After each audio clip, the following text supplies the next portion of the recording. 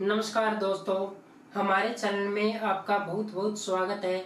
मेरे पास एक और कमेंट आया था, भाई साहब ने कमेंट में लिखा हुआ है साफ़ साफ़ भाई साहब जितना पूछा है, उतना ही बताना, फालतू रामायण मत बनाना। मैंने बहुत अच्छा लगा भाई साहब का सवाल। भाई साहब ने पूछा है, भाई साहब, हम हींग का कैसे उपयोग करते हैं?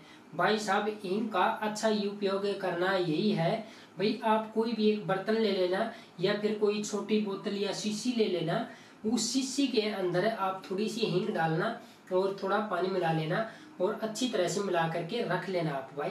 ज़्यादा अधिक मत मिलाना, जैसे कि आप पाँच दिन में, दस दिन तक या हफ़्ते तक यूज़ कर ले, इतना ही मिला के रखना।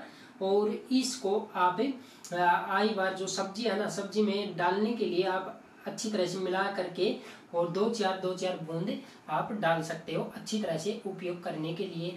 आज के लिए इतना ही काफ़ी फिर मिलते हैं एक और वीडियो के साथ। तब तक बाय बाय